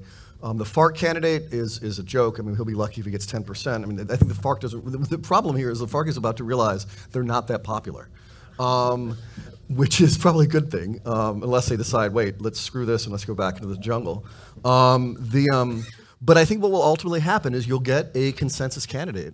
It's basically sort of a, a combination of liberal conservative, um, someone, and, and I think it will be it will be continuity. Is what I'm saying. It will, um, despite the array of different candidates, you know, 30 different flavors like a Baskin Robbins, you're going to get, um, I think, a consensus candidate. The the elite, which is very closed, obviously, in Colombia, will rally, and I think you'll see continuity, even in the peace plan. Even if this is sort of a vote, Santos is not very popular right now. What he's about 30 percent um, which is, I mean, Temer would kill for those ratings. Um, the, um, but I think that basically, I think you'll get a consensus candidate. It'll be more of the same. I think it's, it's, it's a, and again, one thing that's always impressive about Colombia is I keep on referring to different countries' technocratic classes. Is their their technocratic classes are very high level, and I think you'll see the same quality of government that you see in this government and the previous one, and so on. I, I do say this, by the way. I Um, I'm not particularly good at predictions. I worked on the Hillary Clinton campaign, and on election night, I had a party, which was the worst party I've ever thrown in my life. Um, so take everything I say on elections with a grain of salt. Um, Ask me what I think about Colombia. What do you? Think? Yeah, yeah, no, because you, you, you. Thanks for- thanks for asking yeah, yeah, that no, question. I appreciate Ken, that. uh, I, I defer to you. the Colombian election now is probably the most interesting election I've seen in Colombia in, in my many years of watching Colombian elections. And it's not just for the fact of all the candidates that have been involved. It is very, very fluid. Uh, and it's and I, I'm not so sure uh, on, on some of the things that Chris was talking about. Um, in the in the latest polls that are coming out, Fajardo is, is leading the pack, Yeah. not by a lot, but he's leading, and he's and he's pulling strong in generally throughout the country, not in some areas less so than, than others. Uh, and he's formed a, an alliance now with Robledo and uh, Cecilia Lopez, who were sort of, particularly Cecilia Lopez, her big uh, platform was anti-corruption, right? And so we see that playing out. It's playing out a little bit differently in Colombia right now. It's a bit around Odebrecht, but it's around other issues of corruption and, and roads that have been built and campaign finance from the Santos campaign and the Zuluaga campaign in the last time. So it's playing out in, in a lot of different ways. He's been able to cobble together a coalition. Uh, and some would say he basically imposed the coalition on the other two, but he has that coalition with them right right now, and he's polling where he's polling. Uh, the on the on the opposite side of the spectrum, if if we want to talk the left right, and it, it, it, it, Chris is absolutely accurate. The left right hasn't quite played out in Colombia the way it has in, in other countries historically, although there was the and typical antagonism between the liberals and, and the conservative parties and the violencia and all that kind of a thing. But on the right, uh, um, Uribe, it, it's basically a, a fight, as it were, between the, the candidate that former President Pastrana has picked, which is Marta Ramirez, who is uh, has been a war horse for a number of years, uh, uh, well respected uh, by the conservatives, not as far to the right by any means as other candidates like Ordóñez of the Conservative Party. That's that's Pastrana has his. He's writing on that. It's it's really uh, one can make an argument that Pastrana's influence is really quite di- diminished. How he's handled a number of things, including uh, uh, excoriating Santos over the peace agreement, which is a peace agreement. He, the biggest reason why it was a peace agreement, he wished he had a nego- he had negotiated, exactly, exactly. and he couldn't do. Uh, and then and then against Uribe's candidate Duque, who's who's a young technocrat, very well respected, uh, but has never run anything. Uh, he's been a consultant to the IDB and others, but he's respected across the board and con- considered to be someone of integrity. Having said that, uh, in the last campaign, he was on, he was in the meeting in Brazil with the people of Odebrecht, where Odebrecht was talking about giving campaign finance to Uribe's candidate. So, but you don't hear so much about that. Uh, but so the and then you have the Liberal Party uh, the great Liberal Party, uh, and, and, and a candidate that many people in, in other circumstances might think was a very, very attractive candidate. And De La Calle, who negotiated the, the, the peace agreement, uh, was vice president under another president previously, uh, had, is, is, is considered to be very well respected statesman. I think that's fair to say. But he's suffering from two major problems. One is uh, is so closely aligned with the peace agreement that for uh, many of the people who are against the peace agreement, they're not going to vote for him uh, for that reason, and also because of a lot of the corruption that's coming on, although it's across the board, is coming down harder now on the on the liberals and the Santos. There was just an, a, a sealed indictment that came out about the manager of Santos' campaign last time around, uh, and and massive massive charges about corruption, et cetera, et cetera, et cetera. And that's something that the liberals are wearing now in in a big way. And, and it's going to be it's one thing maybe to come over overcome one of those, but De La Calle has to overcome both of those and it's not clear that he's going to do that. And, the, and everybody seems to believe that he will then form an alliance with Fajardo. Uh, although Fajardo says, "I don't want to go into an official alliance with the liberals because we're anti-corruption and we don't we don't want that we don't want that smell on us." I think it's what it's going to come. And then you have Germán uh, Vargas Lleras, who was the vice president of, under Santos. S- s- we, we've hosted him here before. Uh, whose basic whose basic um, uh, theme seems to be you might like the, you might not like the way I do things, but I'm effective. Uh, and in terms of where he was on the peace agreement, he supported it, or at least didn't criticize it when he was working with Santos. And now he's come out a little bit more against it. I think that the, the Colombians definitely want to turn the page on the peace agreement discussion. It's been so polarizing. That doesn't mean that some people aren't going to go to the polls being driven by that one issue and vote accordingly. But I do think there's the pasar la página that's going on. And that's what Fajardo was hoping to capitalize on. The challenge Fajardo has is, as one of the leading commentators in Colombia just wrote, he's in, he's in the shower, but he hasn't gotten wet yet which is to say, if you ask him what is, he has not been specific on anything, even on the where he stood on the peace agreement, and he doesn't want to talk about. It. He just wants to talk about the kinds of things that he did when he was governor of Antioquia, about education and and, and other kinds of. Uh, you know, a, a, full range of, of social and, and, and economic kinds of issues, but in very broad terms, uh, and, and not uh, dealing with, not basically getting wet on some of the issues. So, I don't know who's going to, I couldn't predict who's going to win, but if you look at the last polls, it always comes down to who's going to make it to the second round, right? And so the general feeling is Duque will lead the right, Fajardo will take the center left, as it were, and Germán Vargas, whatever, however you want to classify it, that's where it's going to come down to. And the question, who, go, who gets, who, what are the two who make it through to the next round? Nobody is going to make it on the first round. That I'll say with some certainty. Uh, and, uh, and if you look at the latest polls, everybody, well, Fajardo's margin on winning against anybody, on, um, he wins against anybody head to head, he really wins on the second round. Because if it gets to the second round, if it's Fajardo and, and, and, and, and, and Vargas Lleras, or second round, and, and Duque, they vote for Fajardo. Having said all that, the right still hasn't sorted out its situation. And once the right comes together, and I'll use the term right, between Marta Ramirez and Duque, and wherever Germán Vargas people come around, it's going to be very, very, it's going to be very, very competitive. But if you're looking to, to say how this is going to come out, it's going to come down to those three. And in the countryside and there's uh, outside of, of the major cities, there was a study done, and that's where uh, Uribe's people and Germán Vargas are very, very, very, very effective. I mean, they have better machines, and certainly Germán Vargas, nobody knows how to run a campaign and get out the votes, however they come, however he gets them out, than Germán uh, Vargas Lleras. Um, so politically, that's thank you for asking the question, Chris. I really, I really, I really appreciate it. Yeah, yeah, and we'll talk about the economics you know, a little bit. Yeah. I, I agree that Colombia has the most impressive public sector technocrats in the whole region. I think, however, the private sector is small, uncompetitive, and unimpressive. And the fact is that um, when oil prices collapsed at the end of 2014, Colombia, it was revealed just how vulnerable and how dependent they were on oil and coal to drive their economy. No economy, including Venezuela, is as tied to the price of oil as Colombia's has turned out to be. It decimated their currency, it fell 58%.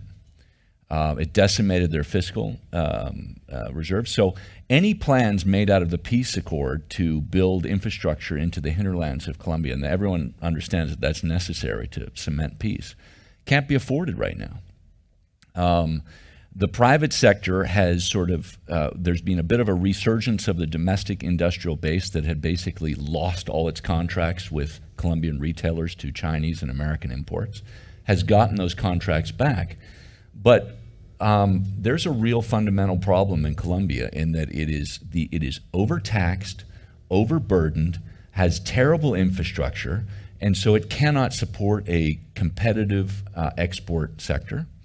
And frankly, um, you know, for people who invest in mining and infrastructure, it's a disaster because of local community opposition. There are 37 local community referendum underway right now to block projects in mining and infrastructure and energy in Colombia. Um, the Colombians, like a lot of countries in Latin America back in the end of the Cold War in 89 or 90, signed up to the World Indigenous Rights Accord, which basically said if a piece of land has any claim to it by indigenous groups, there has to be a consultation, a public consultation. Combine that with the fact that the peace accord provides greater um, voice to local communities. And what you have is the seeds of a disaster of people basically opposing not in my backyard projects. And it has become a very, diff- miners are staying clear of Colombia. Infrastructure investors are staying clear of Colombia. And it's a real shame because that's exactly what that country needs to diversify its well, itself away from energy.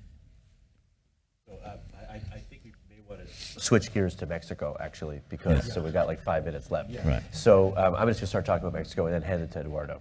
Great. Uh, uh, so I'm going to set you up, Eduardo. Okay. um, so uh, it is, of course, very close to our hearts that um, because we are uh, un- unusually, and the first time in many, many years, we find ourselves um, in a situation where decisions that are made quite outside of our control have huge implications for our economic uh, destiny. And of course, the Mexicans feel exactly the same way. Um, so any discussion in Mexico clearly has to incorporate um, our views on NAFTA and our views on what kind of erratic decisions that may be made in Washington. And um, I would just put out there um, that uh, for the Mexicans, I think the key issue is not um, uh, how bad it's going to be, but how they react. Uh, because you can react in many different ways. The, you can react in the way of more trade is the answer, more liberalization is the answer, more of the 30 year track record. Let's make another 30 years track record of Mexico as a highly productive, highly integrated, and highly mobilized economic actor. Or there's another reaction. The other reaction is um, we've had enough, it doesn't work. And uh, we told you this all along. and we're going to spend and we're going to force and we're going to coerce um, an economy to do what we think it ought to do because Mexico can stand on its own. So, and there's been both strains in Mexican history, as we well know. So I think that those are the stakes here. So um, uh, I think as, as, as Canadians, as we think about this, it's a very much a, it's a bread and butter sort of thing. It's like, you know, we got, we got this relation with the United States. It's critical to our geostrategic and geoeconomic future. If NAFTA is, is wiped away, well, you know, we'll figure something out. And we got more in common with the US anyway, so it'll probably be okay, but very inconvenient and, and politically maybe not very particularly good for this government.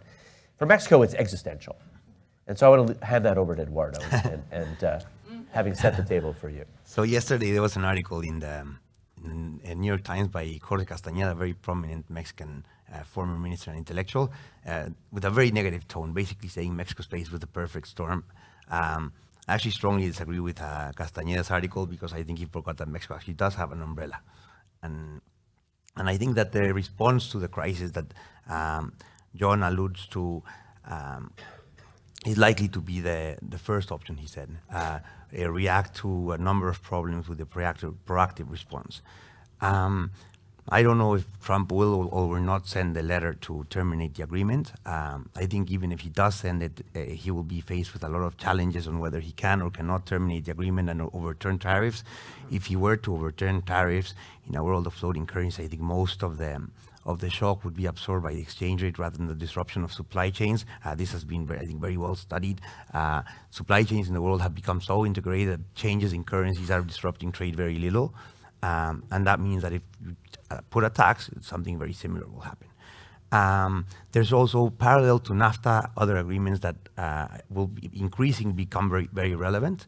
Uh, the Pacific Alliance with the potential inclusion of, of additional developed markets will become a much larger country, much larger bloc with a massive pool of investors uh, who will get tax benefits uh, by joining the Pacific Alliance. Uh, we, we have the TPP, which came very close to be signed uh, in the last round where they attempted it.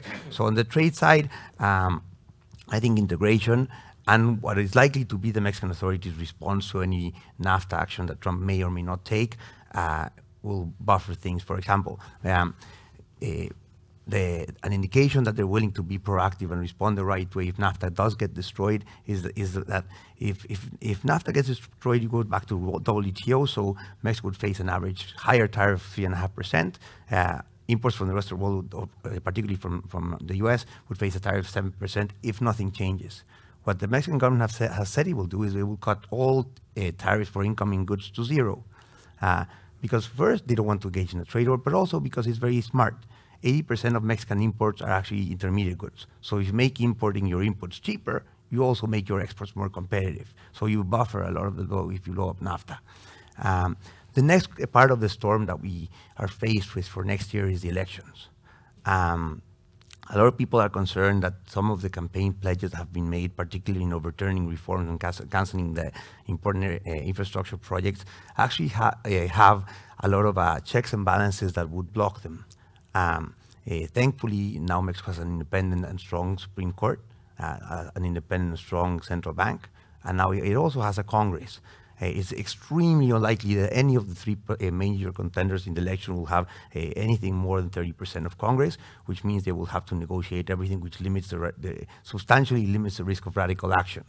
Uh, one candidate has pledged he will use referendums to overturn reforms. Again, uh, most of reforms cannot be overturned by a referendum because of, of, the, of the, how the referendum law is, is structured, and the Supreme Court and Congress will both be strong and independent. Um, the, um, there are risks. Uh, I, I, think the, as, as, as, we discussed here earlier, the institution building process is, is going forward. Um, but the a risk is that um, the, there will be actions taken to undermine civil society.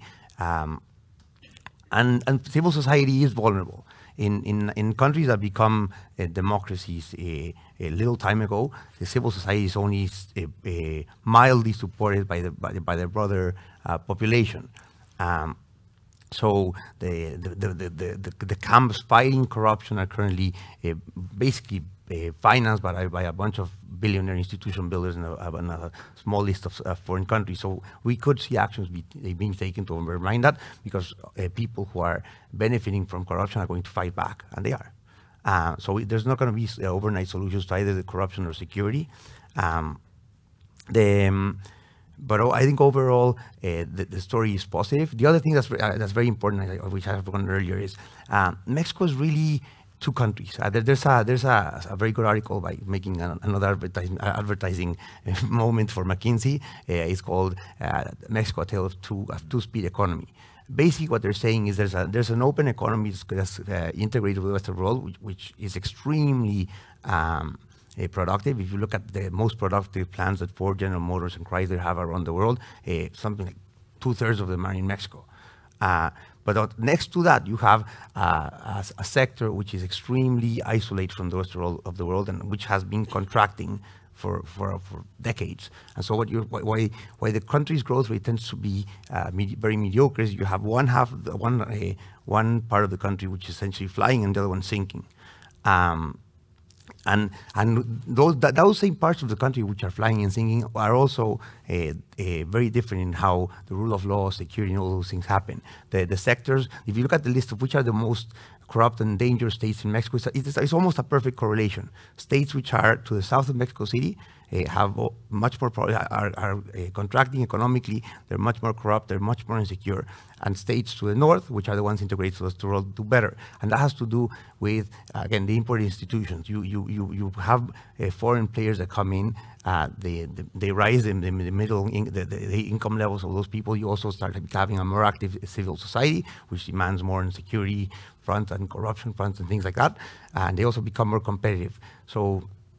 Uh, as that move, move south, things improve, but we still have a big part of the country which is lagging. The other thing that, which is relevant is that um, the sectors that, that are uh, faced with much more corruption problems also tend to be the sectors where the rest of the world is not there the Mexican economy is still faced with a ridiculous number of uh, monopolies and oligopolies, uh, which uh, is one of the reasons why investment uh, overall has been lower. If you look at a typical equity index in the world, it's, let's say one quarter of it is financial. That's already a very open sector.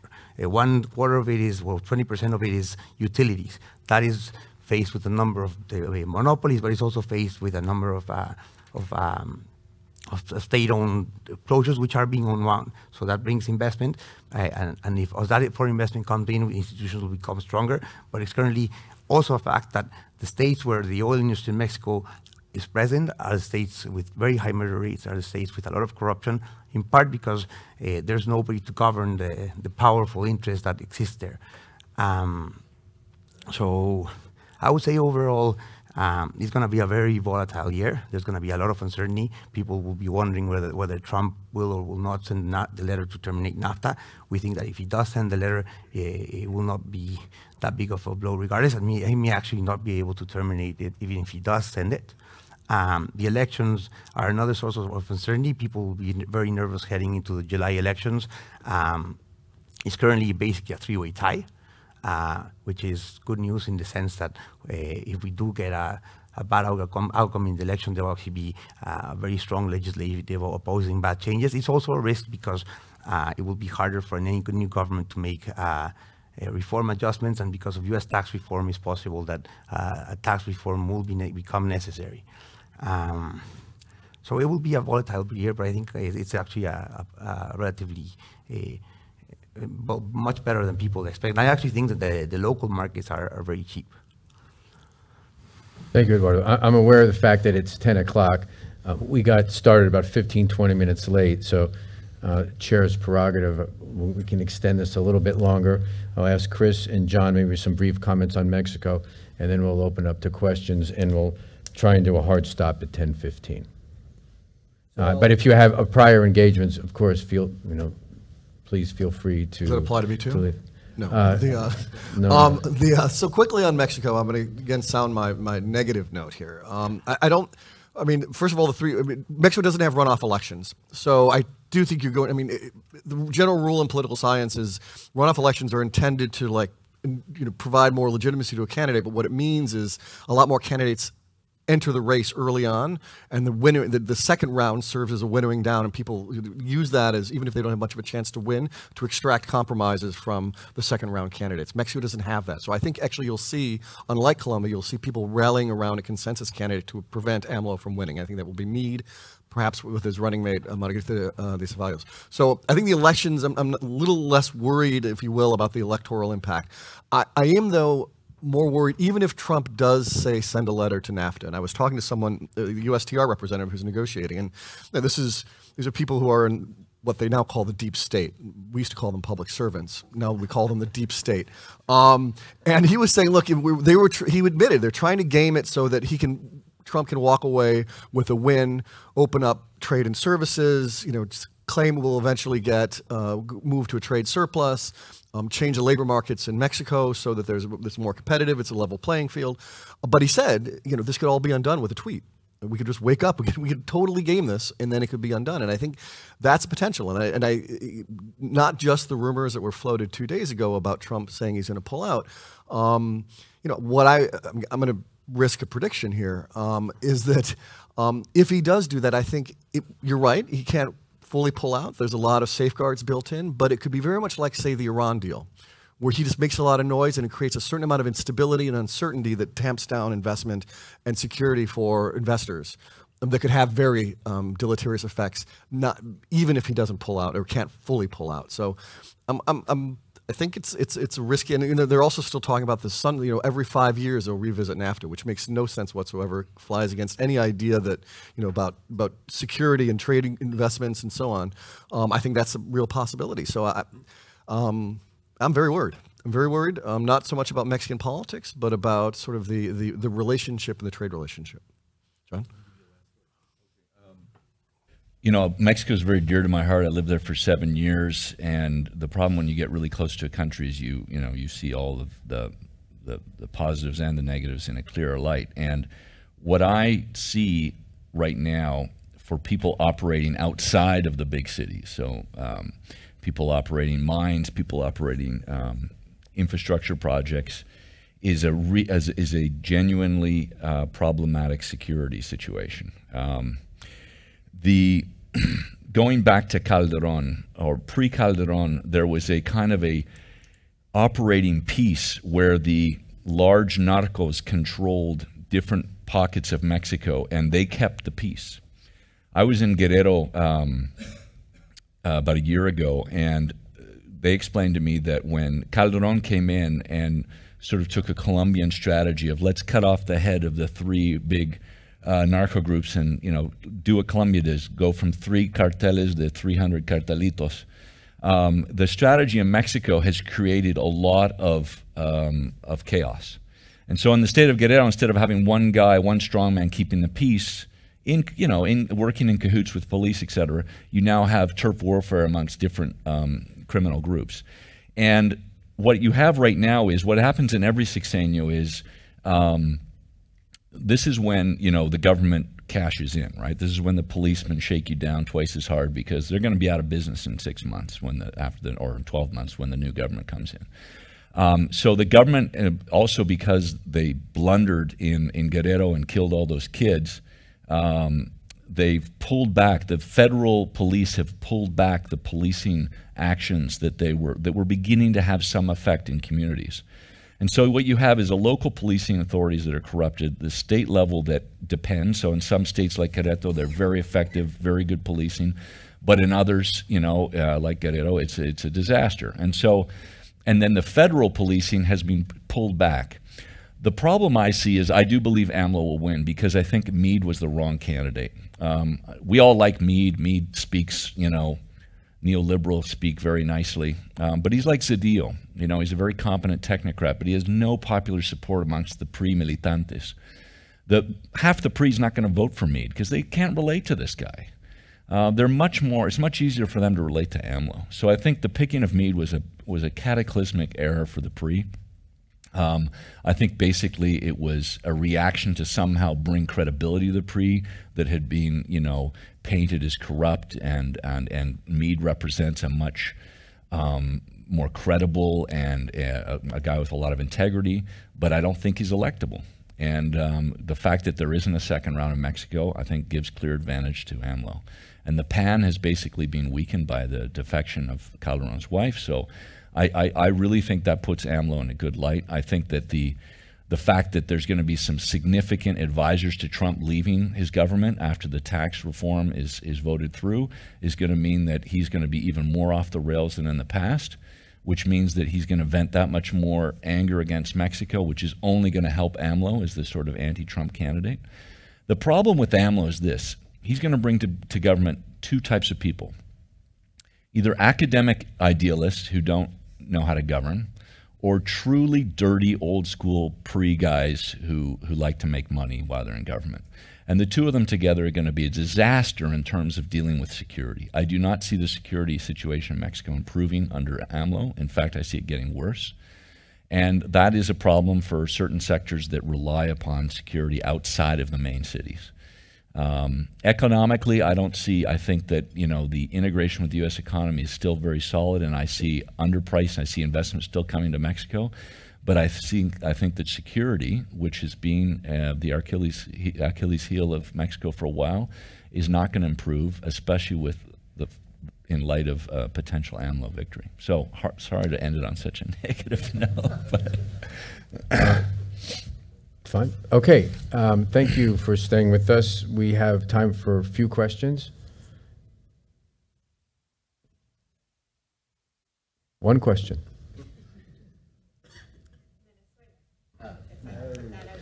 Oh well, we now, now no way. Now you're going to get Chris really going. So that's this is this is this is not going to end well. We probably should do, do, do a pass on Venezuela. Yeah, go. Let's take it from the the, the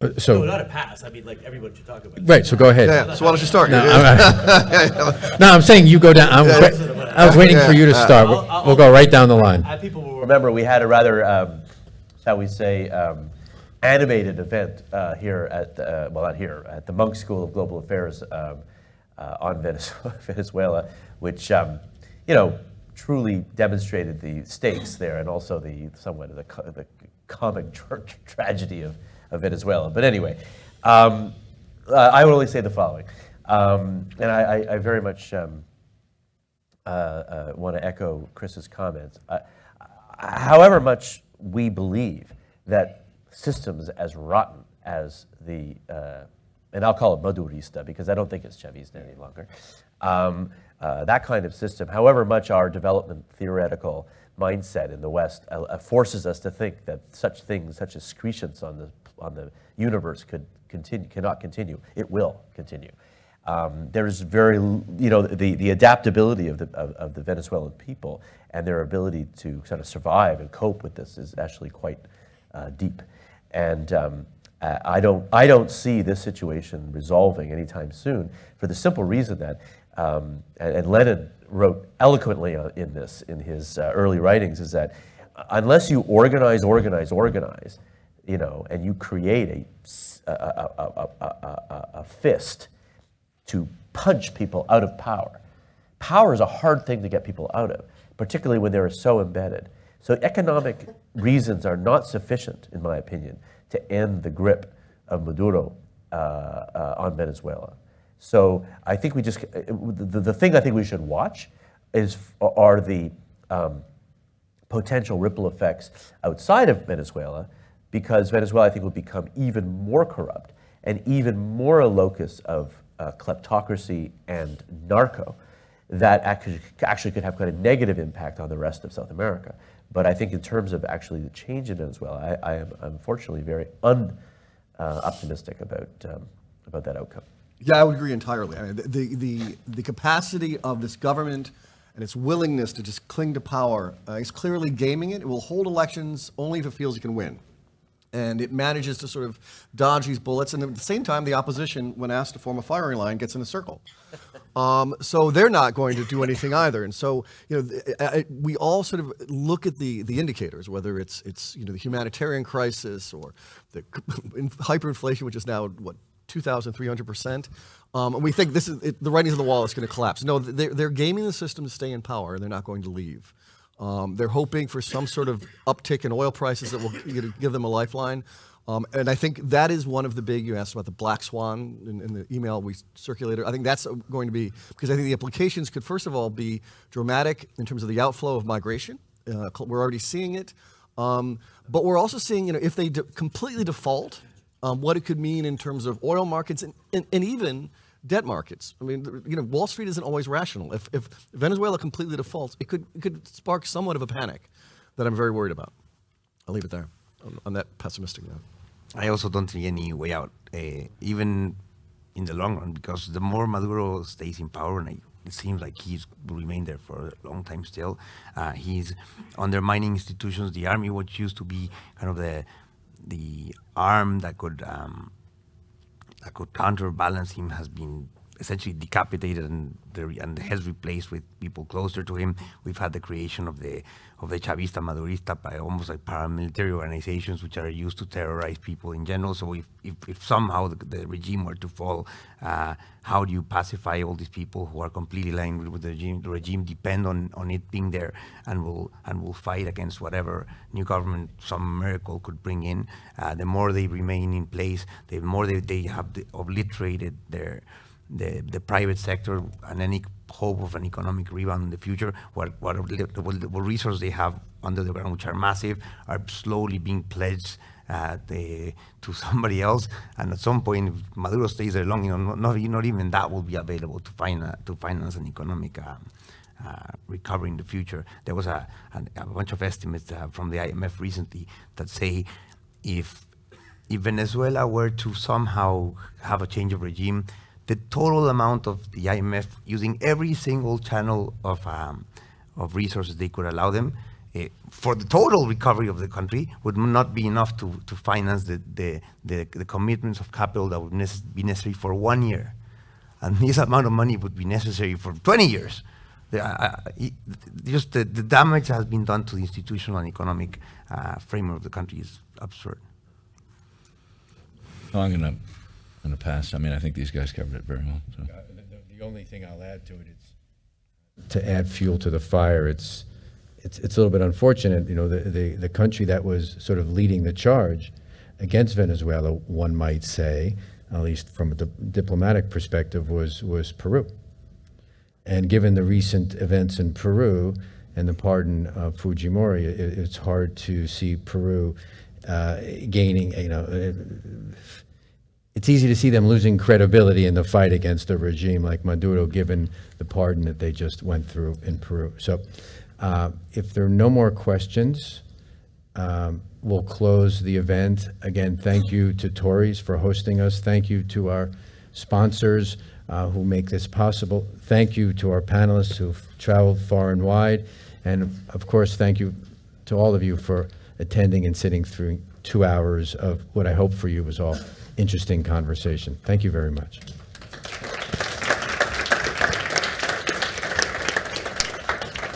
I think that's the best we ever did.